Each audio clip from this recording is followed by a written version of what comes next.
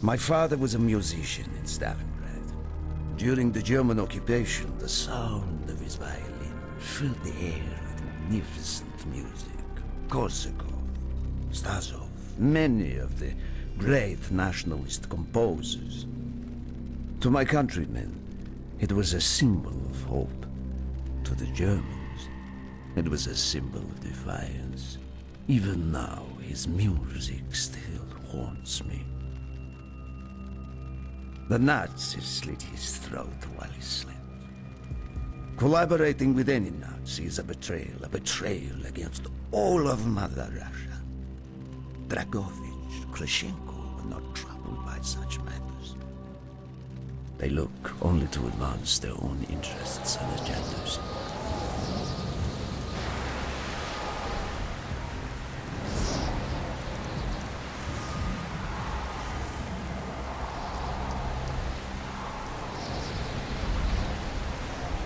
Everything is loaded. They are waiting. Victor, it is time. Yes, Dmitri. Time to hunt down the last remnants of the fascist Reich. Nevsky, grab the gear. We are moving out.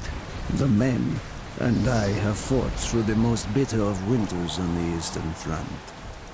We were no strangers to cold, but even now, the blood in my veins chills when I think back to the events of that Ah! The hero of Berlin graces us with his presence. Have you not tired of battle, Reznov? As long as Mother Russia has enemies, I will answer her call. Put aside your petty rivalry, Kravchenko. Captain Reznov will do as he is told. We are here for one German, and one German only. Dr. Friedrich Steiner. This man has offered his cooperation to our cause. He is not to be harmed. Disobey this order, and you will be shot.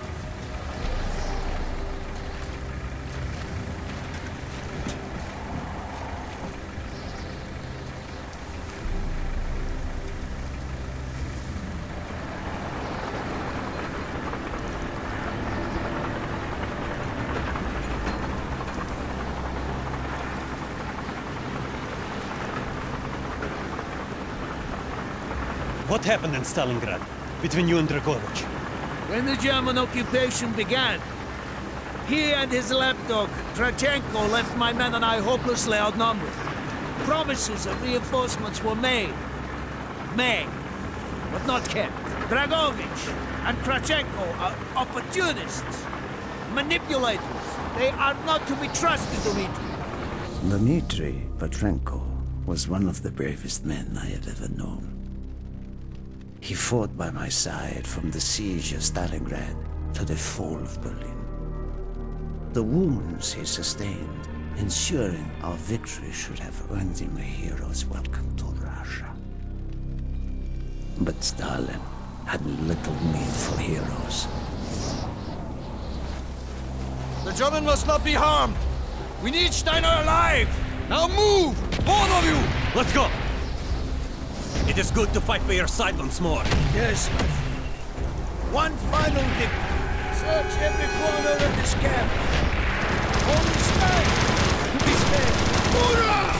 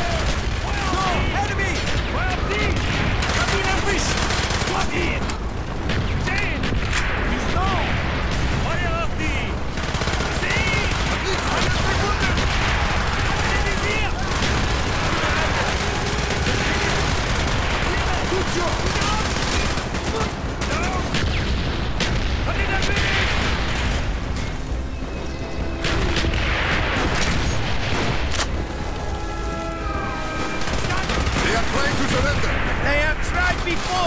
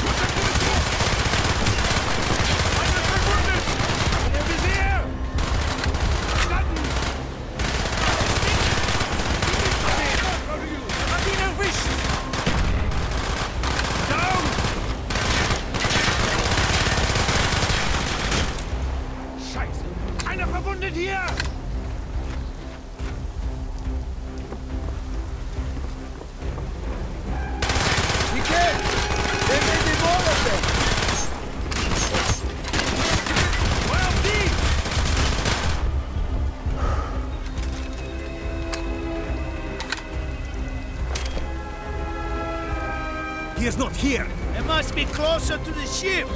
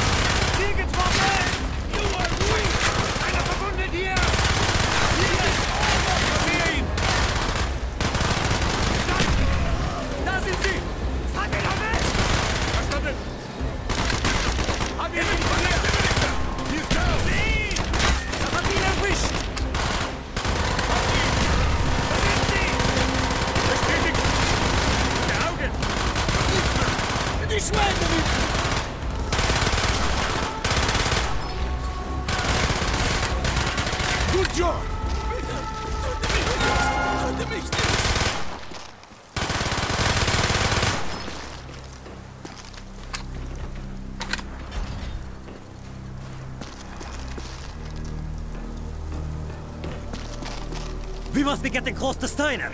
He will be where all cowards reside. As far away from the battlefield as possible. After this mission, do you think we will go home? I hope so, Dmitri. I hope so.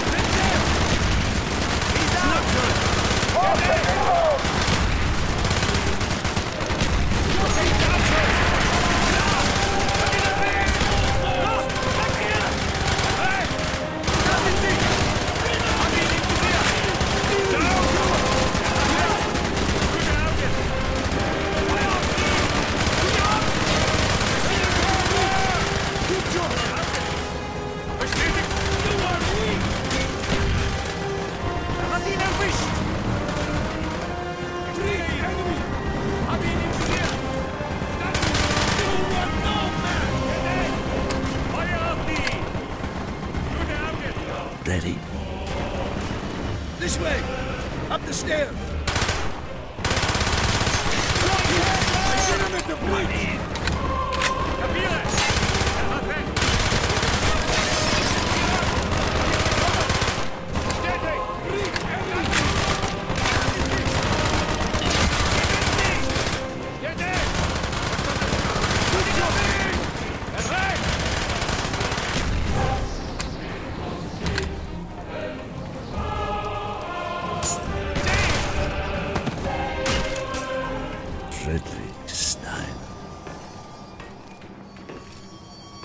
Do not point that weapon at me, Russian dog!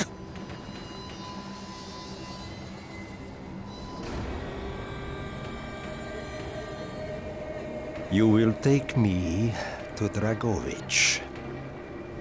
As I looked into the German's eyes, I saw all the evil of the fascist Reich still burning strong. At that moment, every fiber of my being yearned to put an end to his wretched life. But I was a soldier then. I still believed in orders.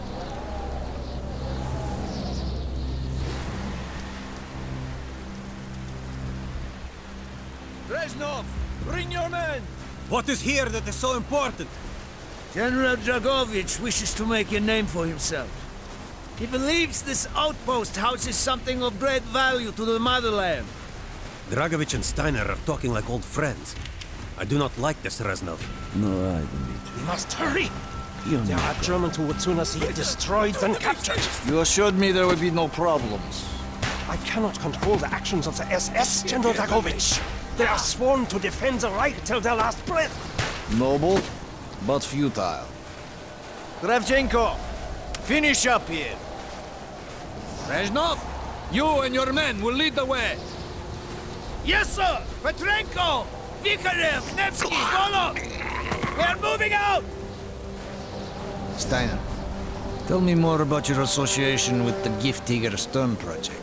In 43, the Fuhrer realized the Allies could not be held back for much longer. We began to look for more unconventional solutions. Throughout the war, my own research was focused on chemical weapons. It was meticulous and frustrating work. However, what we finally developed was a weapon more effective than we had ever dared to imagine. The weapon now housed within this vessel. Nova 6.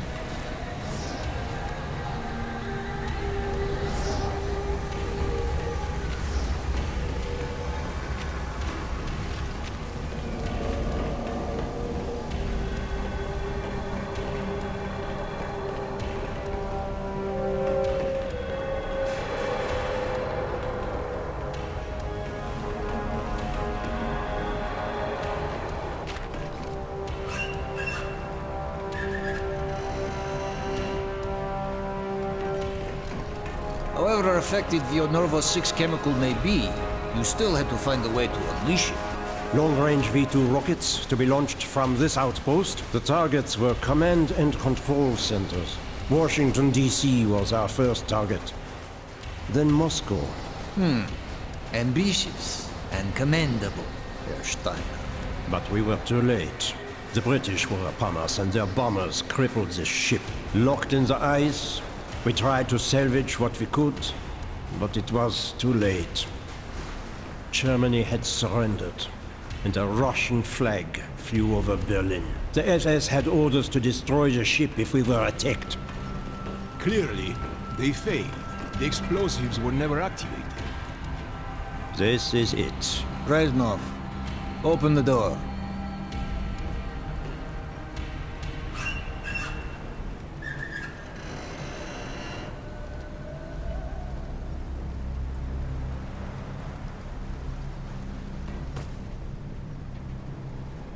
We had found what we were looking for. Nova 6. The German weapon of mass destruction now belonged to Mother Russia.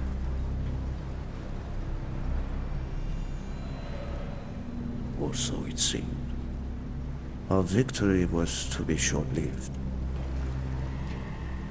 Dragovich wanted to see the effects of the poison firsthand. It was also an opportunity to remove a thorn in his side. I had long known of their distrust. What kind of men they were. It was a betrayal. I should have foreseen.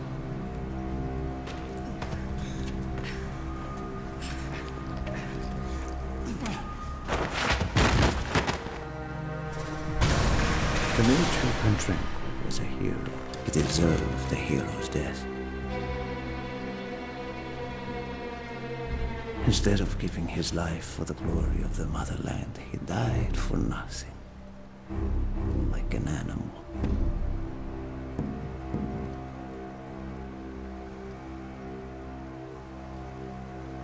He should have died in Berlin.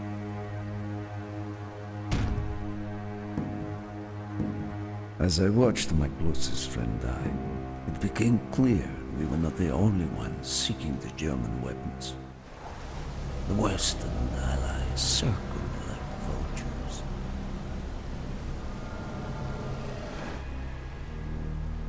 Of course, Dragovich, Kravchenko, and Steiner scattered like rats, leaving me to contend with the British. British commandos assaulting our positions! Find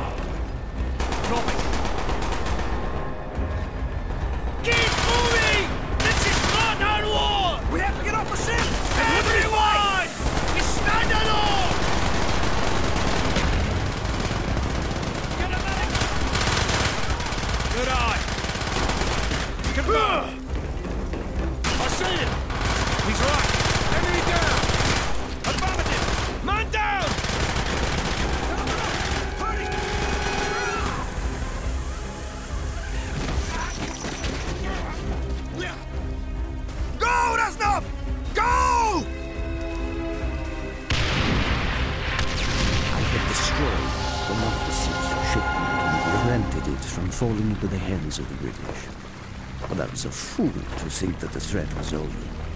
It was only after I was captured and sent to Vorkuta that I learned of Dragovich's true intentions. He will die before he gives up on Nova 6.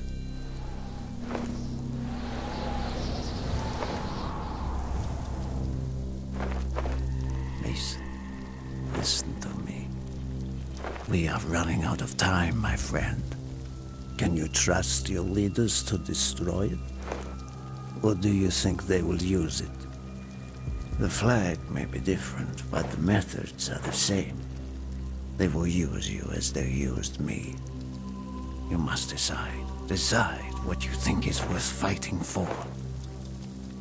Dragovich, Kravchenko, Steiner. These men must die.